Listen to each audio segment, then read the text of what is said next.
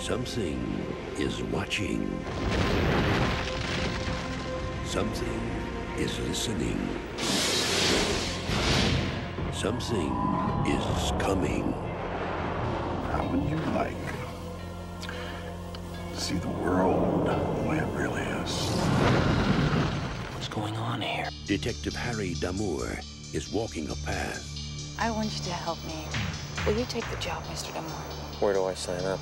Between what can be seen. People are dying here. I want to know why. I've heard a name. Somebody they talk about in whispers. Who? Nix.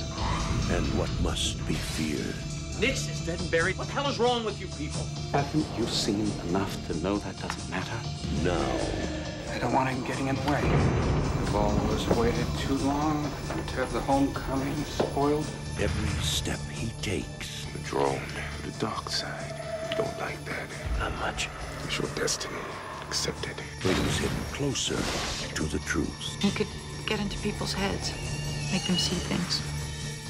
Terrible things. See, that's his best trick. No illusions, just the truth. If Nix is back from the dead, then he is some kind of a god. In a world where magic is real, death is the ultimate illusion. I was born to murder the world.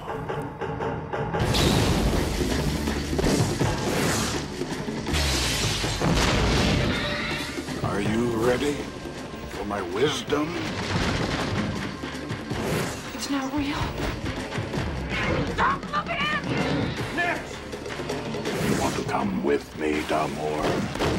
I've got so much power to give you